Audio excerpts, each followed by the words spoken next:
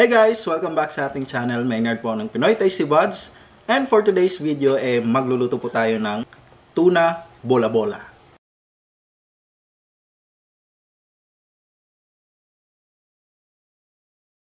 Bago tayo mag-umpisa guys, make sure na nakapag-subscribe na po kayo sa ating channel and make sure to click that bell button para updated kayo sa ating latest video upload. And para sa mga ingredients guys, pa-screenshot na lamang po ang ating slide na ito.